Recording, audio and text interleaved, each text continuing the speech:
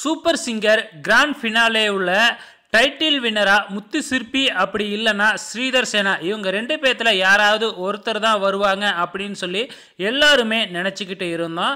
அதே மாதிரியே ஃபஸ்ட்டு எடுத்தோடனே மூணாவது இடத்த தான் அறிவிச்சாங்க. அபிலாஷுக்கு தான் மூணாவது இடம் அப்படின்னு சொல்லி அறிவித்த உடனே கண்டிப்பாக முதல் இரண்டு இடத்துல நம்ம முத்துச்சிருப்பியும் ஸ்ரீதர் சேனாவும் தான் இருக்க போகிறாங்க அப்படின்னு எல்லாருமே நினச்சிக்கிட்டு இருந்தோம். ஆனால் டக்குன்னு முதல் ப்ரைஸை அறிவித்தாங்க முதல் இடத்தை ஸ்ரீதர் சேனா அப்படின்னு சொல்லி அறிவித்த உடனே ஓகே சரி ஸ்ரீதர் சேனாவுக்கு முதல் இடம் கொடுத்துட்டாங்க. அப்போ இரண்டாவது இடம் வந்து முத்து சிற்பிக்கு தான் போக போகுது அப்படின்னு எல்லாருமே நினச்சிக்கிட்டு இருந்திருப்போம். ஸோ அந்த டைமில் தான் வந்து பார்த்தீங்கன்னா பரத்துக்கு தான் இரண்டாவது இடம் அப்படின்னு சொல்லி அறிவிச்சாங்க. இதை கேட்ட உடனே எல்லாருக்குமே பேரதிர்ச்சியாக இருந்தது. என்னடா சூப்பர் சிங்கரில் முத்து சிற்பிக்கு முதல் மூணு இடத்துல இடம் இல்லையா அப்படின்னு சொல்லிட்டு எல்லாருக்குமே ஒரு அதிர்ச்சியாகவே இருந்துச்சு.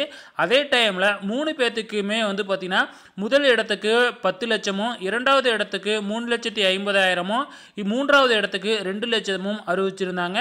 முத்துச்சிற்பிக்கு ஆறுதல் பிரைஸாக வந்து பார்த்திங்கன்னா ஒரு லட்சம் கொடுத்ததா வந்து ஒரு நியூஸ் வந்துக்கிட்டு இருக்கு. ஸோ இது உண்மையாக என்ன அப்படிங்கிறது தெரியல.